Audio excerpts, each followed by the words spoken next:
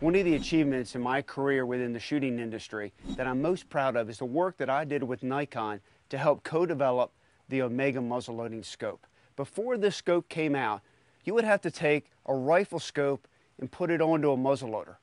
And now you ask, you know, well, what makes a muzzleloading scope? Well, there's a lot of different attributes about this. It's the eye relief, it's where the parallax is set, it's the BDC reticle that compensates specifically for the trajectory of the muzzleloader.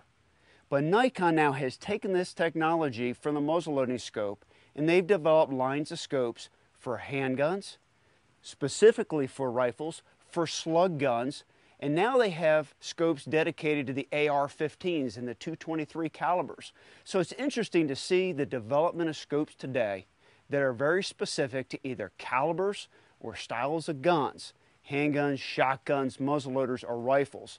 And this really is all to the benefit of the shooter out there. Instead of one scope fits all, it's a 3 by 9 by 40. No, spend the time, go to a pro shop, have them give you the choices out there, go on the internet, go on Nikon's website, and you can see the specific scopes that you can match up to the guns that are in your gun cabinet.